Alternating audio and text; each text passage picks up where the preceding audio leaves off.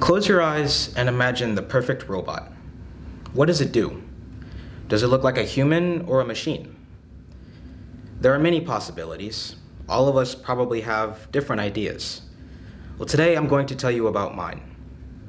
To me, the perfect robot would help police officers. It would scan things for danger. That means it would scan things like people, cars, and even buildings. It could detect guns, knives, bombs, and other dangerous objects. My ideal robot would also destroy these dangerous objects. Uh, I don't know how exactly. Maybe with lasers. But I know that the robot would move quickly. It would be much faster than a person. This robot would be small and strong. It would need to withstand bullets and bombs. Robots already help police officers with bombs, but the current robots are slow and difficult to operate. My robot would be much better, and it would operate itself.